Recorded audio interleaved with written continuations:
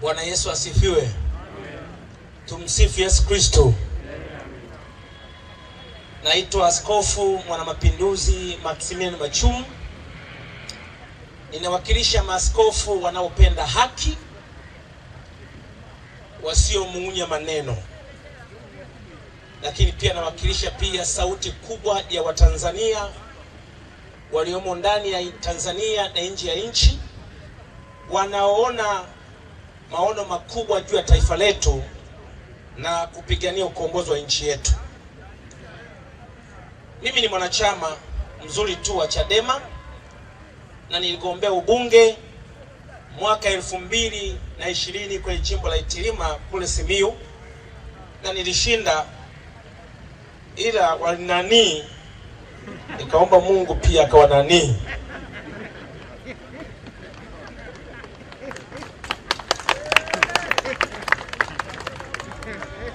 Niseme machache tu, Mheshimiwa Makamu Mwenyekiti Tundu Lissu, kwanza nikupe pole kwa ajili ya madhila makubwa uliopata toka mwaka 2017 mpaka leo. Safari yako imekuwa ni safari ya kumwamini Mungu. Mimi nakuita ni muujiza unaotembea na ni muujiza ambao umewekwa kwa ajili ya ukombozi wa taifa letu Tanzania, au mnasemaje?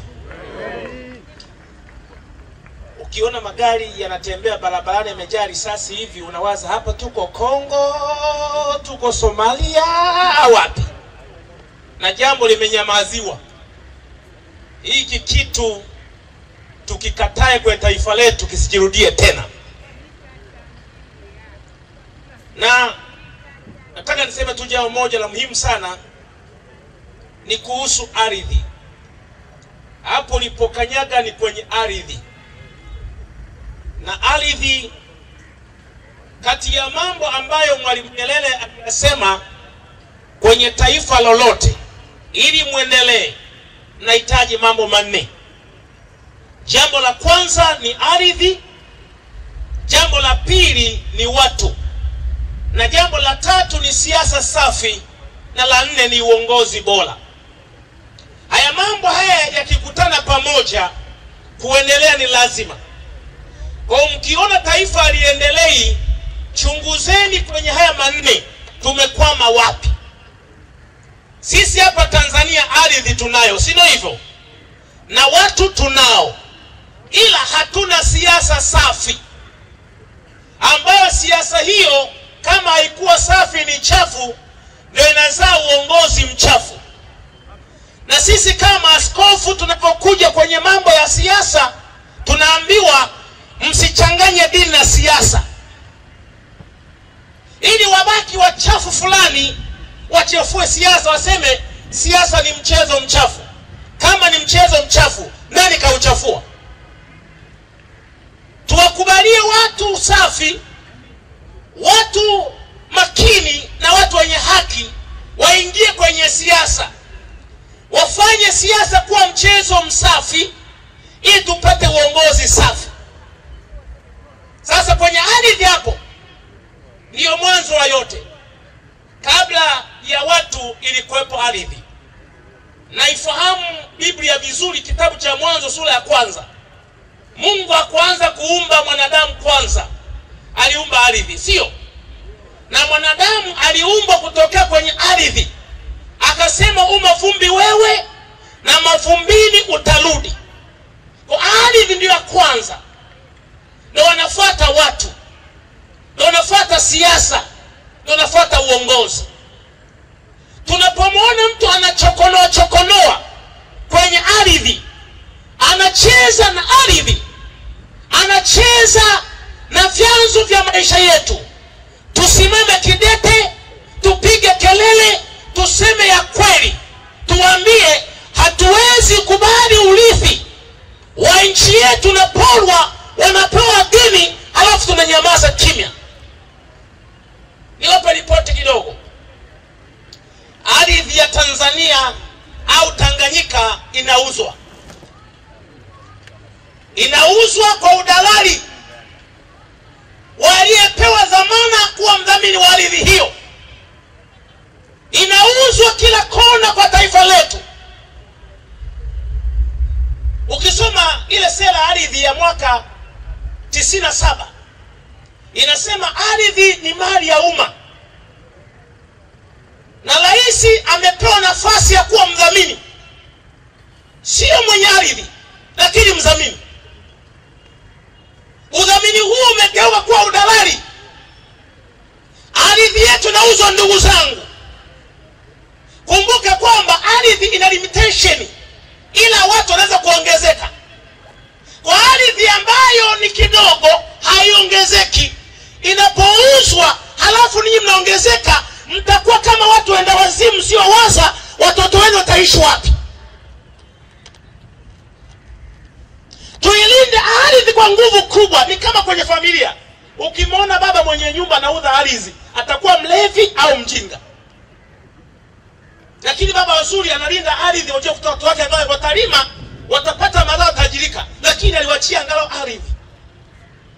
Tunapoona ardhi yetu inauzwa, hili jambo, mheshimiwa makamu mwenyekiti, mimi kama askofu mwana mapinduzi sitanyamazia, nitalisema mahali popote, na iwe rekodi na kumbukumbu ya vizazi vijavyo. Hapa siongelee juu ya habari ya Chadema, juu ya CCM, juu ya Ukristo, juu ya Uislamu. Ardhi ni kwa ajili ya Watanganyika na itakuwa kwa ajili yetu wa watoto wetu.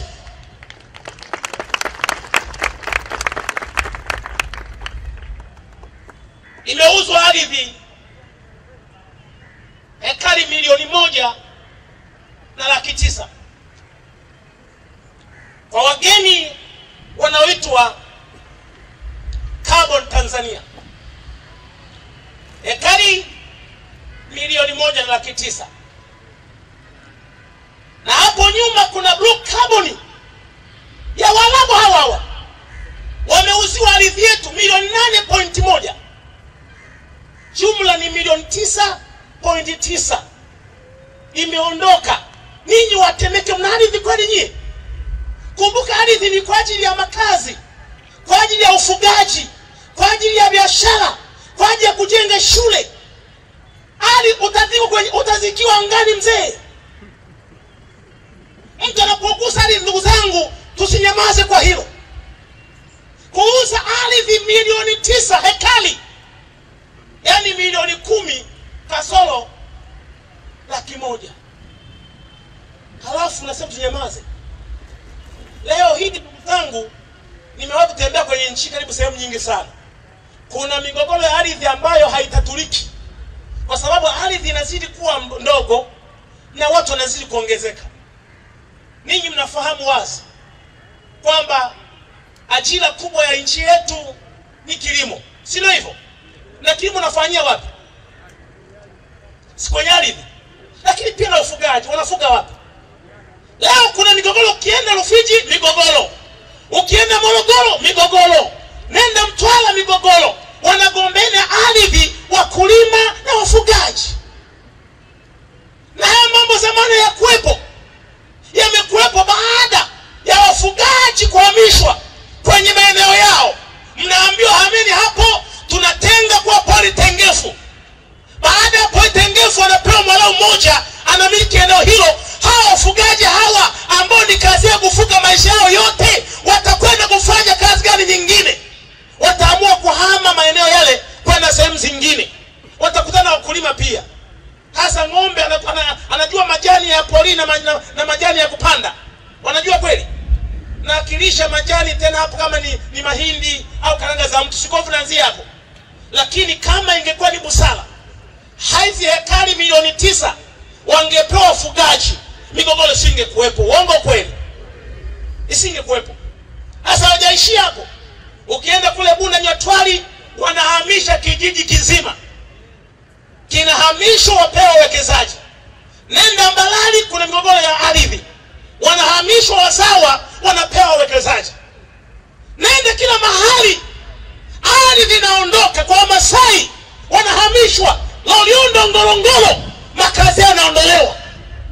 Jambo hili tusilinyamazie. Nimesikia hata mjumbe mmoja amesema hapa Temeke ardhi inaondoka, wanapewa wawekezaji. Hili jambo tusilinyamazie. Mtu anapogusa ardhi amegusa uhai wetu, amegusa urithi wa watoto wetu. gusagusa mengine, lakini usiguse ardhi. Kwa tuseme wazi kwamba maeneo yote ya Tanganyika yasiuzwe kwanza. Mnasemaje? Eh? Yasiuzwe? Na bahati mbaya sana, ukisikia ardhi, mpaka bandari kuna ardhi. Hauwezi kuita bandari mahali kama hakuna maji na ardhi. Kwa lazima vikutane ardhi na maji. Unaita wapi hiyo? Bandari. Mnapoona bandari za Tanganyika zinauzwa, inauzwa ardhi ya Tanganyika, lakini za Zanzibar haziuzwi. Hili jambo si la kunyamazia, na niwaambie ukweli, ndugu zangu wa Tanganyika, kinachosumbua hapa ni Uzanzibari na Utanganyika. Nisikilize kwa makini, najosumbua hapa nini? Uzanzibari na Utanganyika.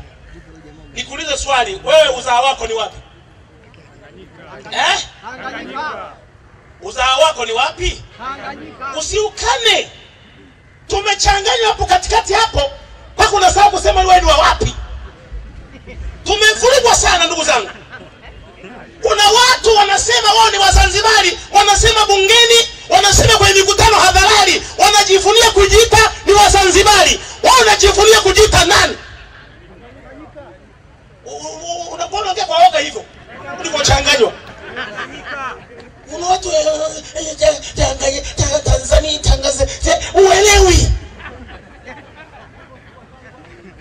uelewi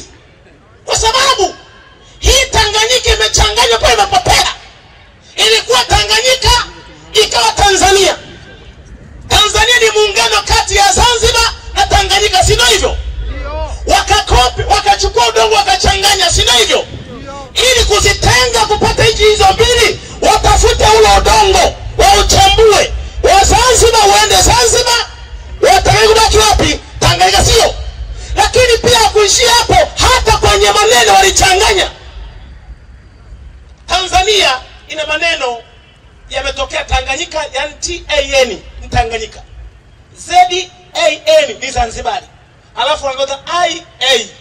Maana yake ni kwamba Tanzania imezaliwa na maneno ya nchi mbili. Maana yake ni kwamba ili Tanzania ife, labda utoe Tanganyika na Zanzibar. Tunaposema Zanzibar ni nchi na wanalazimisha kuta Zanzibar ni nchi, maana yake ni kwamba wameamua kuliharibu neno Tanzania, wameondoa ZAN, si ndio hivyo? Kwenye Tanzania unapata neno gani? Unapata T A N I A, kirefu chake ukisema vizuri hapo ni Tania.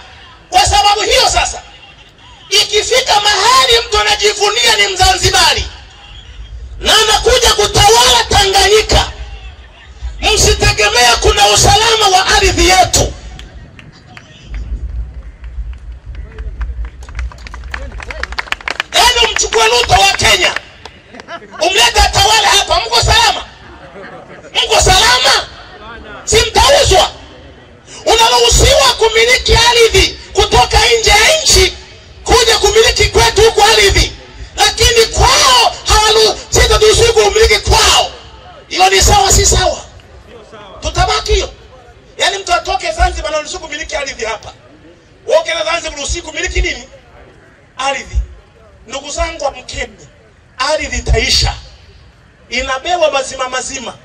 Ukifa utazikwa wapi? Hili jambo tusilikubalie, tudai katiba mpya, tuiombe tuipate Tanganyika yetu, na hii ni waombe tuungane pamoja, iwe ni polisi, usalama wa taifa, iwe ni CCM, iwe ni, ni, ni Chadema, utanganyika wetu udai kwa nguvu kubwa.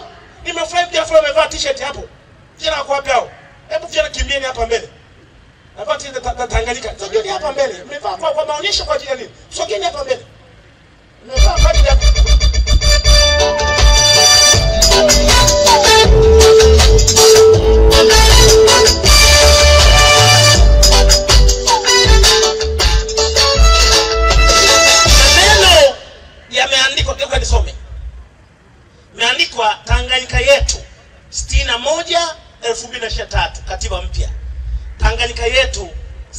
moja hadi ishirini na tatu katiba mpya. Safi.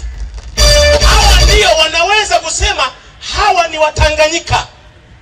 Naomba jambo hili la Utanganyika, ndugu zangu, tumie kwa ukubwa mkubwa zaidi, tujivunie asili yetu. Tuna uhuru wetu mkamilifu tuliupata toka kwa mkoloni, na tuna kusherehekea tarehe tisa mwezi wa kumi na mbili, si ndio hivyo? Turudi kwenye asili yetu ili tuungane nchi ya Zanzibar vizuri, muungano mmoja ambao huu utakuwa muungano sawa, ili yale mambo yasiyo ya muungano Watanganyika wayasimamie kama walivyosimamia Wazanzibari. Ndugu zangu, nikazie kwa hilo kwa kusema wazi kwamba tunakuwa na maisha magumu kwa sababu sehemu ya kupata maisha mazuri kama sehemu ya ardhi inakuwa sio haitufai tena. Nchi wanasema ni nchi ya wafanyakazi na ukulima, si ndio hivyo? Kuna bendera ya chama fulani kina ina nyundo na jembe. Watani wanasema eti tunapigwa kwa nyundo alafu jembe inakuzika. Sijajua hiyo ni, hiyo ni, ni wataalamu wa mambo ya propaganda. Anasema vile bado na maana yake ni kwamba ile jembe la kuzikia nyundo napigwa kichwani, alafu bahati mbaya sana zimewekwa kwa kupishanishwa hivi, yani X, ambapo kwenye utaalamu wangu nilikuwa nilikuwa naangalia vipicha vya zamani. Ukiona picha wamekaa watu wengi, picha moja imepigwa X, huyo ni marehemu. Sasa sijajua kwa kupishanisha hivi walikuwa wanamaanisha kwamba ndio marehemu, na nikaangalia pia rangi yake, mheshimiwa mwenyekiti, rangi yake ya bendera ile ni kijani. Hapa Temeke nyinyi mna hospitali nyingi sana, si hivyo? Una mgonjwa wako umempelekea uji asubuhi, si hivyo? Alafu ikafika mchana ukaambiwa njoo, hali ya marehemu imebadilika. Ukafukuta pale marehemu amezungushia kitambaa fulani cha kijani, hata kama hata kama hujaambiwa. Ina maana gani hapo eh? Kama vitambaa mengine jamani, tusipige vifo bure. Mimi nawaambia ukweli na msidanganywe eti eti ni nchi ya wakulima na wafanyakazi. Ukweli eh? Wakulima na wafanyakazi kweli? Wanasema jembe nawakilisha wakulima, alafu nyundo nawakilisha wafanyakazi. Kwa hali ilivyo nchi hii, ndugu zangu, wakulima wana nafuu yoyote? Wafanyakazi mpaka mwaka huu tarehe moja mwezi wa tano waliandaa kule wapi? Kule Arusha, sio kuda kusherekea sikukuu ya wafanyakazi, ikawa ni sikukuu ya wadudu. Wadudu wanapita mbele ya wa, wa, wa makamu rais anasimama kuwapokea wadudu. Wafanyakazi wako tu wamepewa siku yao. Mambo nyingi tulitegemea siku hiyo waseme wameondoa kikokotoo, si ndio hivyo? Waseme wameongeza mshahara kwa sababu ya Uzanzibari na Utanganyika. Wafanyakazi wa Zanzibar wameongezewa shilingi elfu hamsini. Wafanyakazi wa Tanganyika mmetoka kapa. Ndio hivyo, imeshatoka hiyo mpaka mwakani tena, subirini. Sasa mimi nimeweza kusema tu kwamba tunapotafakari juu ya habari ya nchi hii ya wakulima na wafanyakazi, mimi kama askofu nayesoma Bible nasema asiyefanya kazi na asile, asiyefanya kazi na ukisoma Wakorinto wa pili sura tatu mstari wa kumi namalizia, asiyefanya kazi na asile. Sasa kwenye nchi yetu hii ya wakulima na wafanyakazi, wakulima na wanaofanya kazi ni wakulima, sio na wafanyakazi. Wanakula wali Hawali, ila wale wasiofanya kazi ndio wanakula. Wanafanya nini? Wanakula. Anayefanya kazi kwa mjibu wa Biblia alipaswa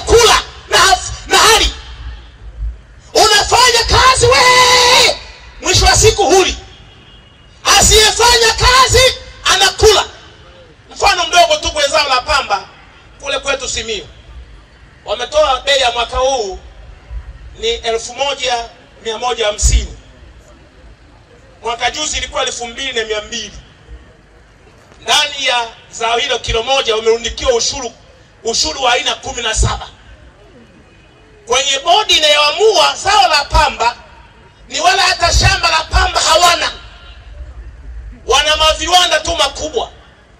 Wanapanga bei wa shilingi ngapi wanachomeka mkulima akatwe ya store anakatwa. Ya pembejeo anakatwa. Ulichukua dawa kuchukua dawa unakatwa. Hela nyingi imeenda kwa wasiofanya kazi. Na wanaofanya kazi hawali. Ndugu zangu nataka niwaaga kusema tunayosema yote haya naunga mkono sana salamu ya chadema inaitwa no hate no fear. Nasisitiza kwa nguvu kubwa kwamba hatuwachukii ila hatuwaogopi. Kwa hiyo wasiwase kwamba tunawachukia hapana. Watulie ila tunachukia wanachokifanya na hatuwaogopi. Kwa hiyo inua mkono wako juu ni kwa salamu hii nzuri ambayo inafuata kanisani ingekuwa kwa ruhusa ya mwenyekiti ningesema leo sadaka itolewa sana jumapili na ningeiombea lakini mheshimiwa mwenyekiti kama ukifika wakati ukaomba sadaka kwa watu mimi nita- nitaachia sala kwa watu. Sawa makamu mwenyekiti. Kwa sababu naunga mkono pia kumchangia gari mheshimiwa Lissu. Sasa inua mkono juu nikuage. No hate! No fear. Ah, ah.